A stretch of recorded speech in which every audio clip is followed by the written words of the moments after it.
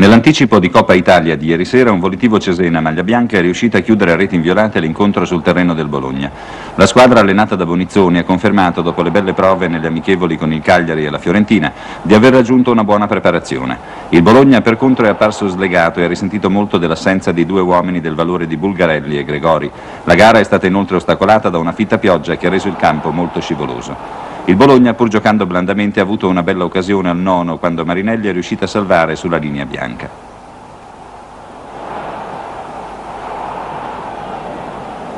Scala, il miglior bolognese, ha cercato di impostare variazioni. Qui su un suo servizio a Savoldi esce prontamente Annibale, ma non ha trovato molto aiuto nei compagni. Lo stesso Scala ha impostato al 37 la migliore azione della serata, ma il colpo di testa di Fedeli su servizio di Perani ha sorvolato di poco la traversa.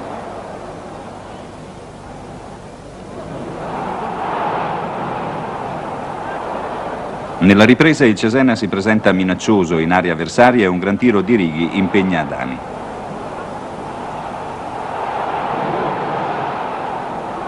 Il Bologna ha un'ottima occasione al ventesimo, ma il colpo di testa di Vastola è rinviato fortunosamente da un difensore e Annibale riesce quindi ad impadronirsi della palla. Poco dopo il Bologna potrebbe ancora passare. Rizzo imposta l'azione e la palla perviene infine a Savoldi che indirizza a rete. Perani non riesce ad intervenire e il portiere del Cesena può parare con tutta tranquillità.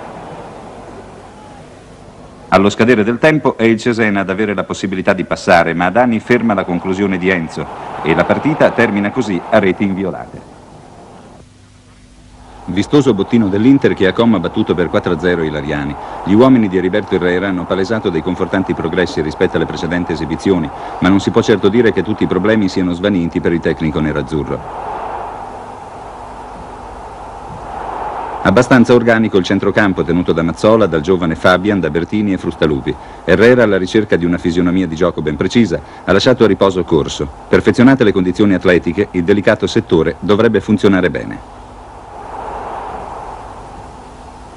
L'Inter è passata in vantaggio all'uncesimo, splendido doppio scambio tra l'avanzante Burnic e Pellizzaro e bel gol dell'ala destra apparsa in netto progresso.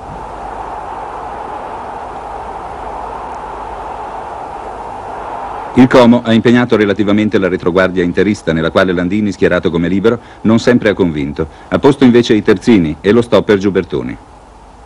Scarsissimo il lavoro per Vieri, le cui condizioni di forma comunque non hanno bisogno di collaudo.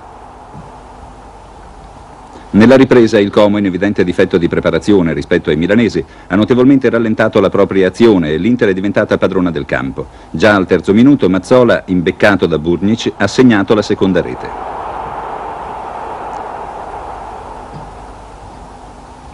Pellizzaro, guizzante e attivo, in collaborazione con Frustalupi, ha preparato a Boninsegna la palla del terzo gol e il centravanti non ha fallito.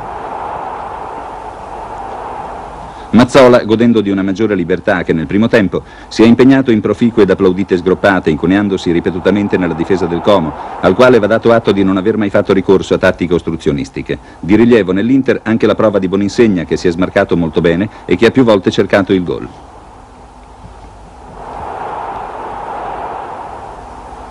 L'azione della quarta ed ultima rete dei nerazzurri è partita ancora da un'iniziativa di Pellizzaro, perfezionata da Frustalupi, dopo un tocco di Boninsegna.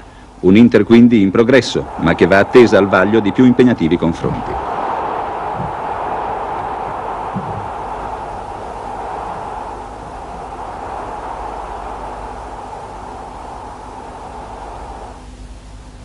1-1 al Bentegodi di Verona tra i locali e la Juventus, le uniche due formazioni di Serie A impegnate in confronto diretto nel primo turno di Coppa Italia.